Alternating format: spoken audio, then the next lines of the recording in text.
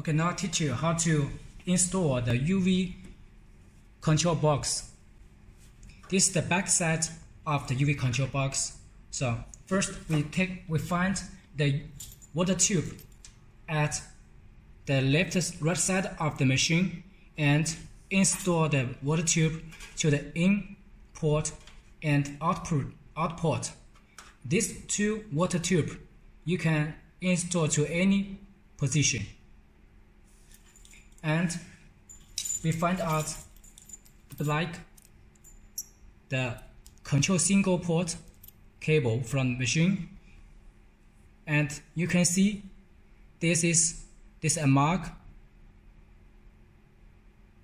is bend mark on the top of the cable. And this port also have a mark here. And we put this small cable to ES,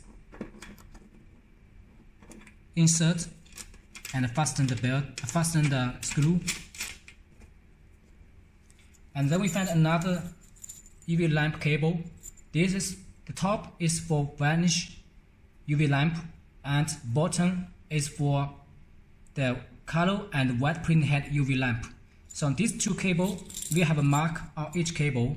And please do not install with wrong position or the UV lamp will not working well. And also we can see the band shape here and we put here fasten the screw.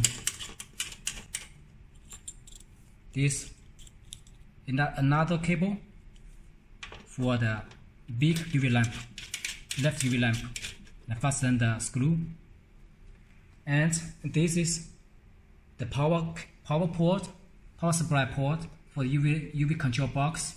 And please pay attention to the voltage marked here AC 220 voltage. So if you but you may you your country support only 210 voltage. You need to be sure to match with the UV box voltage. And install the cable to the UV lamp UV box.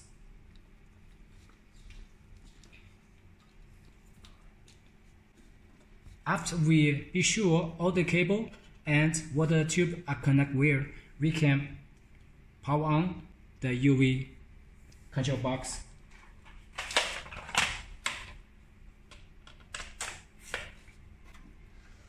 We move to the front of the box and this is the general power switch. We power down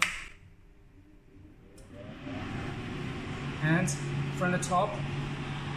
We can see this is the water filling hole inside we must put the water. Because the UV lamp we are use work the UV lamp at the both side of the carriage. The temperature will be rising during printing. So we need to use the water cooling system to reduce the working temperature of the UV lamp. So we need to fill water to the tank. And be sure do not do not put too much water. You need to load about two-thirds of the totally volume.